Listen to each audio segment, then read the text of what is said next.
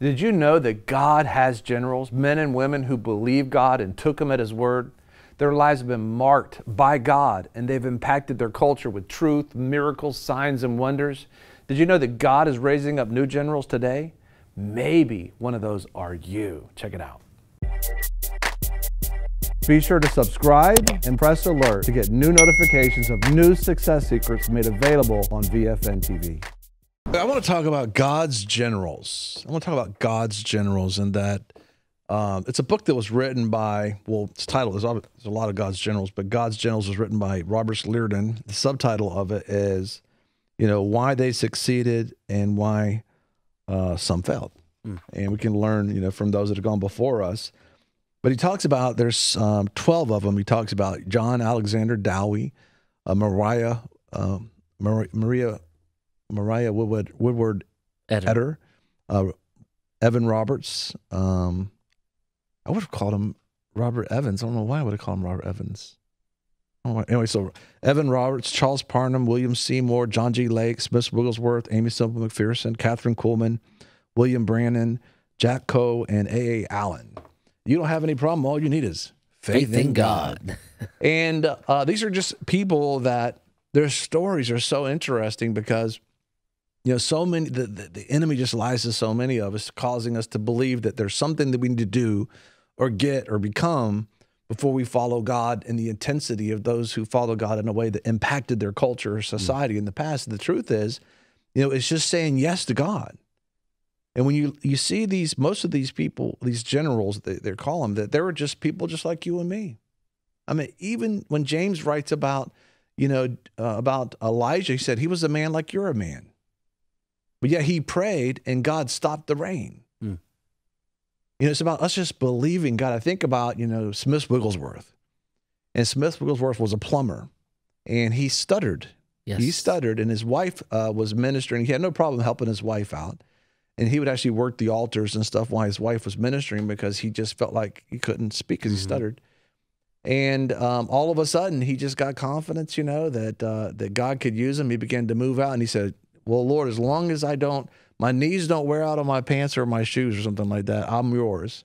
And but he was known as a man of faith. You know, whatever God said, that's how it was. And he had a he had you know, the reports are he did not want any outside influence. He didn't want to hear about the media. He didn't want to hear about the news. All he wanted to know was about the Word of God. And uh, and I think about Sumrall, Lester Sumrall, when he was going over to visit, you know, Smith Wigglesworth, and he was coming there to his house with a newspaper under his arm. And uh, when he's knocking on the door, Smith Wigglesworth answered the door, and he said, "What's that?" And he was talking about the newspaper right there. And of course, he took it out and threw it over in the bushes. And he went into the house. And they went and ate together. And they pulled the Bible out and began to read together. And it's so, so interesting because mm. people think there's what's the what's the secret? It's the same secret. it's Jesus, the Word Jesus. of God, man. Go after God. He loves you. He's got a plan for your life. And just radical miracles. You know, God just really worked through Smith Wigglesworth in a powerful way. A plumber that just said yes to God. Mm. And when he found out there was more that he didn't know about, he was very he didn't care. He just went after it. Mm-hmm. Uh, he was at one particular meeting that, you know, he heard about the power of God and the Spirit of God, and somebody was there in this meeting talking about. It. He just stood up in the middle of the whole crowd and said, "I want it." Mm. And you know, I was like, oh, oh, we just talk about it. We don't yeah. do that. here." but also, I think about you know uh, Mariah Mariah Woodward, Woodward Etter. Well, I'll tell you something. When you. Before you go, Mariah Woodward Etter, eh, there's an interesting story about uh, Smith Wigglesworth that um, about his prayer life. He's so mm-hmm. intimate with God and, and spent so much time in prayer that um, there were some ministers that wanted to come and, and pray with him, and they had heard the stories of, of his prayer life. Mm-hmm. And um, as reports go, that they were in this room praying, mm-hmm. and one by one, the, the, the, mm-hmm. intensity, the glory of God, the presence of God so filled that room, but one mm-hmm. by one, they couldn't contain it, and they had to exit this room that they were praying finally this one minister staying there with with um with um Smith, Smith Wigglesworth and and the presence of God is so just dynamic and and the glory is just so powerful. He's literally crawling out on his belly because he thought he was about to die in there. He right. just couldn't withstand what God was doing during that time. Yeah, God's presence was, you know, so God was so with him. The Spirit of God mm. was so with him. And so and that's something a plumber just said, oh, yes to God. He just said yes to God, and the world was changed. And it was I thought it was pretty interesting. Just staying with Smith Wigglesworth for I guess the rest of the program here, since not much left, is that you know he had his whole ministry, and he went and ministered, and God moved, and he, everything God says he can do, he did, and uh, just like the Book of Acts, and uh, and but he had it when he came to the we felt like the end of his ministry. He went to his house, and he was getting the mail out of his mailbox and he realized every letter in that mailbox was asking for him to come and not asking for the Lord. He realized, in his own words, is that, you know, paraphrasing, that I taught them how to come to me, but not how to come to the Lord. Mm. And whatever how I presented the gospel, they're asking for me, Jesus. They're not asking for you. If you'll give me seven more years, I'll change this. Mm. Seven more years. And so God gave him seven more years. Wow. Seven more years. And he ministered to help people understand that we're called to lead people to Jesus, not to your organization, not to you. This is a, this is a this is a good evidence of a true prophet or a false prophet. A true prophet leads people to God, and a false prophet leads people to themselves. Mm. I mean, you gotta I gotta go back and get the other word. I gotta go to the person again. It's like, why didn't you? Why aren't you more in love with God after hearing? I have to pray for you. I Yeah, have to pray yeah, for right, you. right, right. And he realized that he he wanted to lead people to Christ. He wanted them to know God. And uh, he says, "My sheep," you know, the word of God says, Jesus says, "My sheep know my voice and they follow me." And um and so he was uh, he took seven years to begin to change that. I mean, think about that. Even today, if we begin to get that same mindset and say, you know, instead of trying to bring people to our building, organization, Wow. our denomination, our this, just bring them to Jesus. Jesus. I mean, think about that. Yeah, it's powerful. I mean, that that is what we're called to do, right? Yeah. I, you know, he he he is the head. You know, he's the firstborn from amongst us. We you know we're heirs with- of of with God, heirs of God, joint heirs with Jesus Christ. He's leading us. He's our Mm. shepherd. Um, it's him him that actually died for man's sin, and we're supposed to introduce people to. It's like almost like we're ambassadors. Yeah. You know what I'm saying? Sent here to be able to represent the kingdom of God and the, and our King.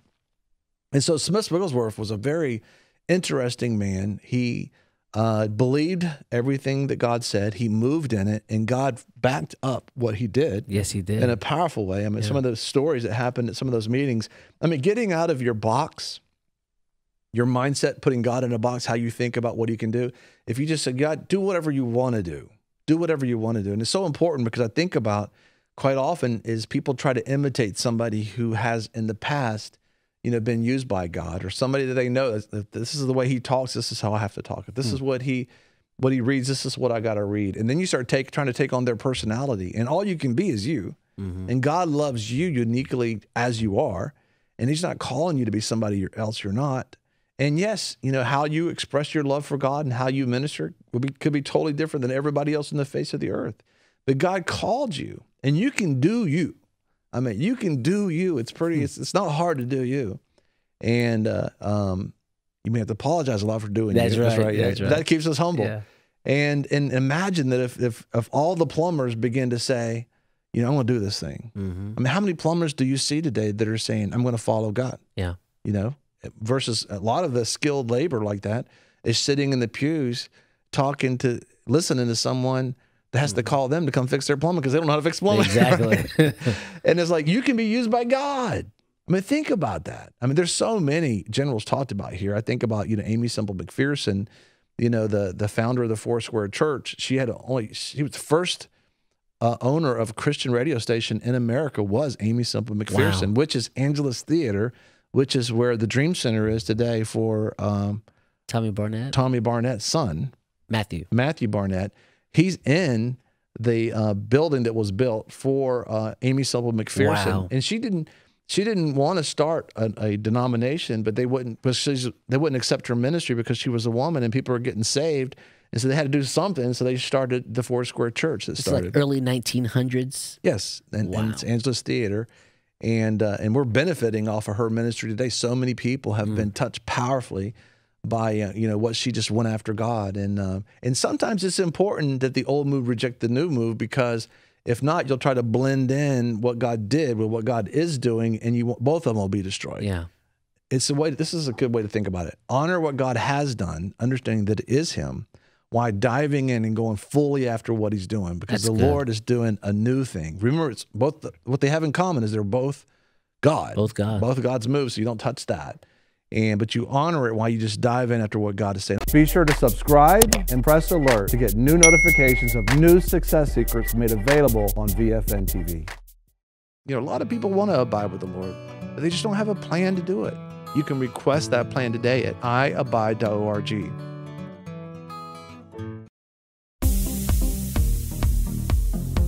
I'm your host, Greg Lancaster, and we're so glad that you've joined us. Don't forget you can join us 24 hours a day, seven days a week. Download our app and sign up for our newsletter, The Torch, at VFNTV.com. I've enjoyed our time together. God bless.